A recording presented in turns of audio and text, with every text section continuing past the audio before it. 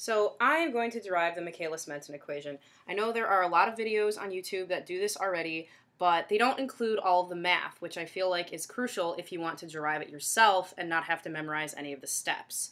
So we start out with, here's our toolbox. We have the equation just generally talk that talks about enzyme substrate goes to enzyme substrate complex goes to products. And then we have the velocity based on this K2 right here. Now normally there's a K negative 2 right here, but because we're at t equals 0, we can ignore that, which is part of the steady state assumption. And we can also ignore, we can also say that the rate of formation of ES is the same as the rate of breakdown. So that allows us to set up an equation like this.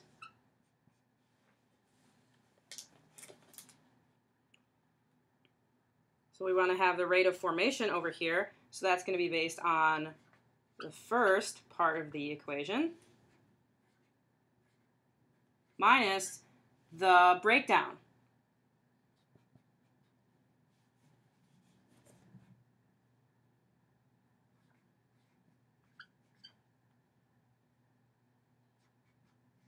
which is going to be that right there. It's going to be right that equal to zero. Sorry if you can't. There we go, right there. Right here. Okay? So now what I'm going to do is I want to bring all of the ES's to the same side. So I'm going to bring it over here.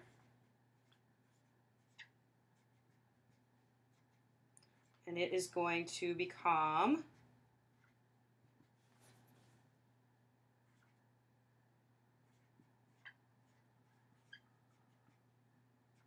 like that. So now I'm going to factor out an ES, just like this.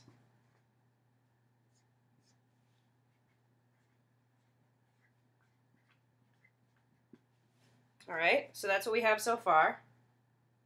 That factored that ES out. Then we're going to isolate ES by dividing by that K negative 1 plus K2, and interestingly enough, now we can start talking about the Michaelis-Menten constant. So now here's where we are. That's where we, we have that E times S K times K1 divided by K1 plus K2. Cool. Now, we're going to define a constant because we don't want to have all that rate, all those rates in our equation. So we define the Michaelis-Menten constant. Why they defined it upside down, I don't know. You'd have to ask them. It's a question that I have as well. So then we define Michaelis-Menten as that, Km. Now, so let's plug that back into our original equation, which I just erased. So now we have ES equals E times S over Km since those were, we just kind of flipped it over. So that's what we have right now. Right? ES. Okay, so now um, we want to get all of this in relation to ES, right? So we have E and we have S. We want it to be related to ES and S because that's what, in the end, it's going to look like. So let's, we also know this, that E total equals E free enzyme plus the enzyme bound to the substrate.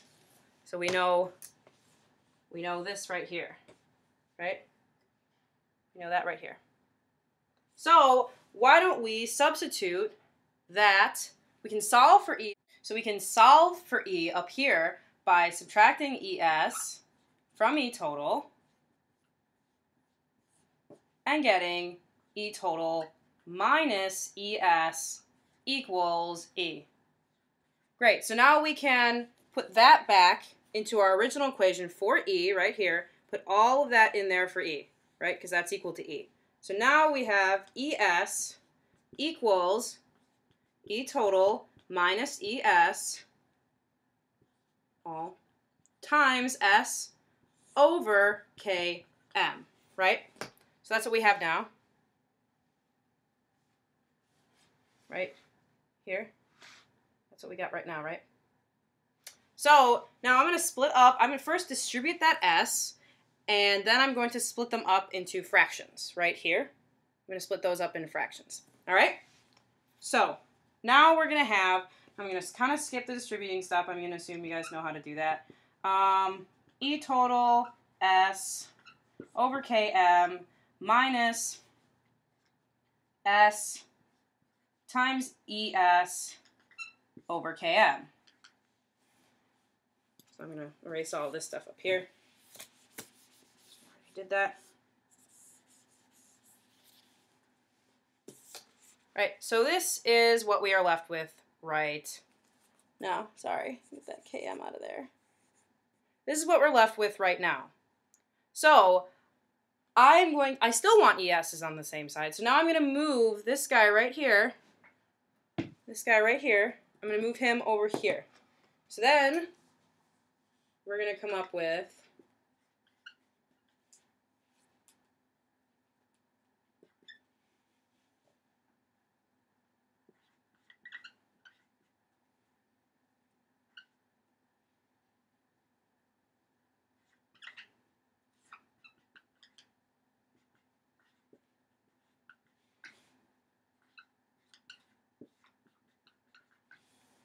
So now this is what we have after we move it over.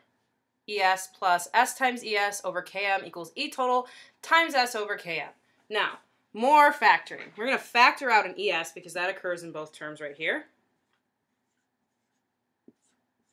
And then you're left with 1 plus S over Km. Not, and be careful, that km is only with the s, it's not with the whole thing. That screwed me up before, because then you're going to get some sort of reciprocal, you're going to, then km is going to end up canceling, and that will be a problem later on. So just remember that the km is only with the s. And so that's still going to be equal to E total S times K over Km. Right? So that's where we're at right now. So now I'm going to, I still want ES by itself. So now I'm going to divide this whole term over here. So this, all of this is going to go in the denominator of this fraction right here. So then ES, magical, right? It's going to equal E total times S over 1 plus S over Km times Km. Okay, well, you know that you need to distribute the km just like we've been doing before. So this is what we have right now. We have this whole equation. So now notice we need to distribute the km on the bottom. So now ES is going to equal E total times S over Km, and then the Km's cancel out in this one, so you get Km plus S. Man, this is starting to look like what we want it to look like, right? So now, let's go back to our original equation here for v sub 0 for v. Keep this. I'm going to keep our bottom, I'm going to keep that one right there, that bottom equation, because that's what we're going to use. So now we had, we had this, right? We had v sub 0, v naught equals ES times K2, right? That's what we had. So now I'm going to plug in that ES that we just calculated right down here up into there. So now we're going to get V sub 0 equals E total